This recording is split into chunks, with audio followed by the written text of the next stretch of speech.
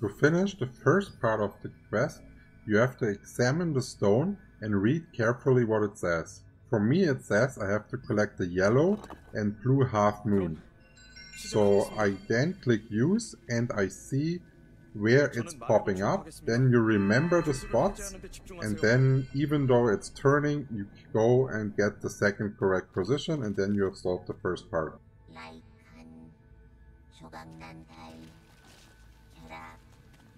라이칸, 조각난 달, 혈압, 만월.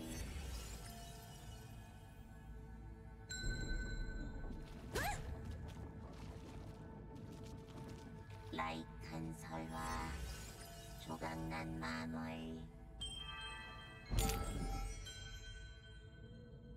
모험가님, In part 2 of the puzzle, the first thing you have to do is to use your morph to transform into a wolf.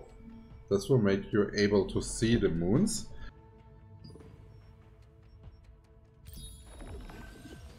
였네요. 이쪽으로 오셔서 다시 해보시죠.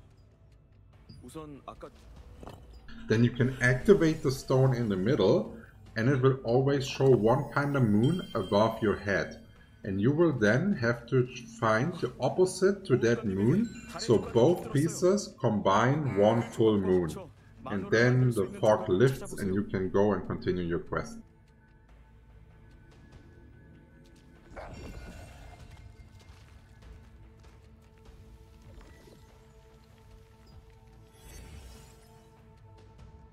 이런 뭔가 잘못되었네요. 이쪽으로 오셔서 다시 해보시죠.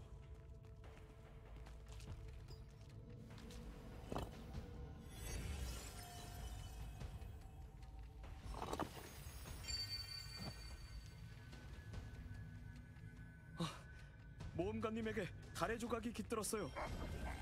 그 조각과 합쳐 만호를 만들 수 있는 조각을 찾아보세요.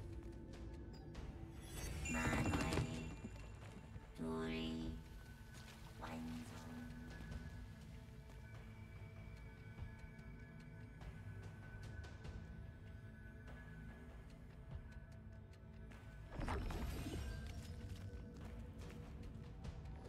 만월, 셋, 완성. 이런 뭔가 잘못되었네요. 이쪽으로 오셔서 다시 해보시죠.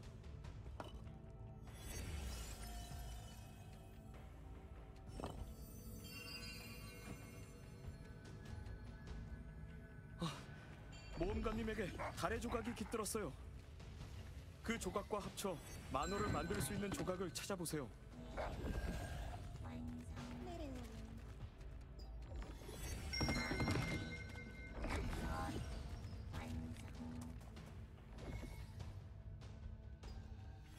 잘하셨어요.